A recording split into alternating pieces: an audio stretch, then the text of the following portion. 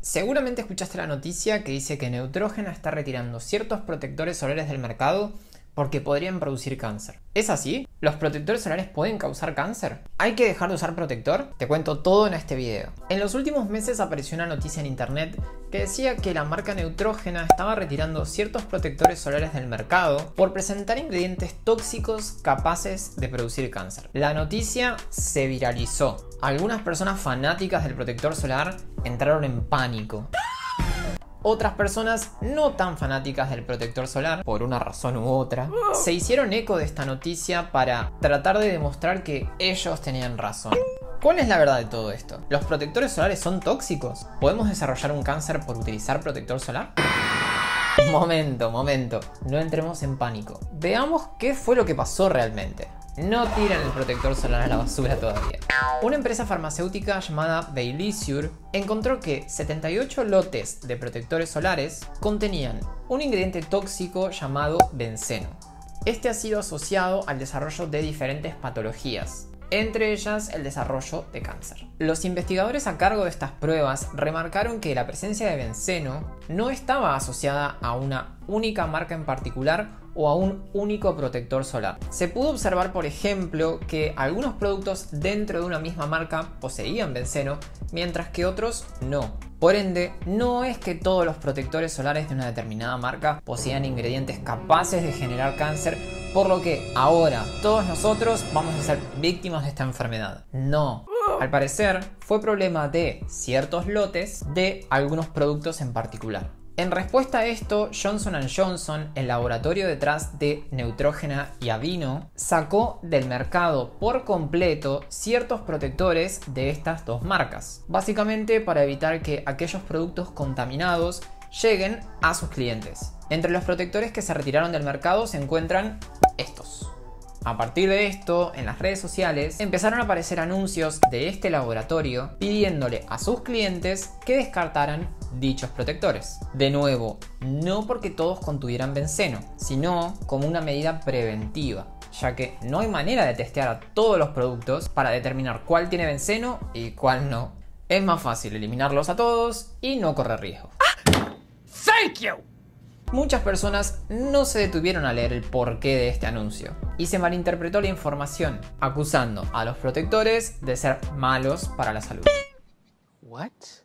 No es así, nada más alejado de la verdad. ¿Por qué nadie me lo dijo? ¡Ay, debo haber parecido un idiota! En mayo de este año, la empresa que llevó a cabo estos estudios toxicológicos le pidió a la FDA de Estados Unidos a través de una carta que sacara estos productos del mercado, los cuales contenían benceno. Productos de muchas marcas, no solo de neutrógena. Pero, ¿Por qué tanto problema con el benceno? ¿Qué es el benceno? ¿No es esto lo que todos nos preguntamos en la vida? El benceno es un químico industrial que se puede encontrar, por ejemplo, en los cigarrillos, pesticidas, etc. Y es un conocido carcinógeno. El exponernos de manera sostenida a este producto a lo largo del tiempo puede producir alteraciones en nuestra salud, como por ejemplo el desarrollo de leucemia. Lo curioso es que no existe un valor de benceno que sea considerado seguro para el desarrollo de protectores solares. Por ende, ¿por qué es que estos protectores contenían benceno? ¿Por qué solo algunos contenían benceno y otros no? Al parecer fue un problema de contaminación durante la producción de los protectores solares afectados. En algún paso de la cadena productiva, algo o alguien que seguro ya fue despedido hizo que parte de los protectores solares que se estaban produciendo fueran contaminados con benceno. En total se testearon 294 lotes de protectores distintos de diferentes marcas, de las cuales a varias se les solicitó que quitaran del mercado algunos de sus productos orientados a protegernos del sol, ya que contenían niveles detectables de benceno. Estas son algunas de las marcas involucradas. No todos los productos de estas marcas dieron positivos para la detección de benceno. Se considera que fue un tema de lotes de producción, los cuales fueron detallados en la petición de este laboratorio a la FDA. Una vez realizada esta petición, Johnson Johnson, el laboratorio detrás de Neutrógena y Avino, realizó sus propias pruebas, detectó benceno en ciertos protectores solares y decidió retirarlos por completo del mercado. Se lanzó un comunicado para que todas aquellas personas que hubieran comprado estos protectores los descartaran. El comunicado dice, Por una cuestión de seguridad, estamos sacando de circulación todos los lotes de estos protectores solares en aerosol. Dejaron también en claro que ninguno de sus productos debería contener benceno en su formulación, sino que claramente fue un caso de contaminación que no saben cómo se produjo. Ahora bien, ¿Hay manera de saber si mi protector tiene benceno? ¿Hay manera de saber si mi protector está contaminado?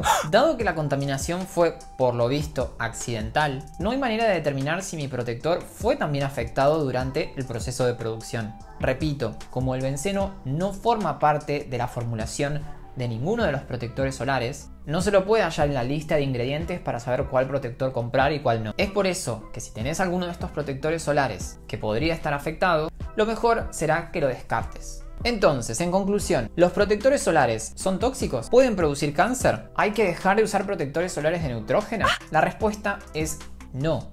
Los protectores solares no son capaces de producir cáncer. Como mencioné antes, lo que ocurrió en este caso fue que ciertos lotes de protectores solares fueron contaminados con benceno. No se sabe todavía cómo. El benceno es una sustancia capaz de generar cáncer luego de exponernos a ella durante un periodo prolongado. Las marcas implicadas en este accidente ya están trabajando para retirar del mercado aquellos productos que puedan contener benceno y que puedan implicar un riesgo para la salud de la persona que lo usa. En caso de poseer alguno de estos protectores pertenecientes a los lotes afectados, lo mejor será descartarlos. Bajo ningún término hay que suspender el uso de protector solar. Es por eso que si estás viendo este video y tenés alguno de los protectores implicados en esta noticia, te recomiendo que lo descartes y compres otro que no esté dentro de la lista de lotes y marcas afectadas. No dejes de protegerte utilizando protector solar. El protector no produce cáncer. La exposición solar sin protector, sí. Si les gustó este video, por favor denle un like y compártanlo. Cuéntenme acá abajo en los comentarios si habían escuchado de esta noticia y si tienen alguno de los protectores implicados. Si les gusta el contenido de mi canal, no se olviden de suscribirse y activar la campanita de notificaciones para que YouTube les avise cada vez que subo un video nuevo. No se olviden tampoco de seguirme en Instagram. Y yo los veo en el próximo video.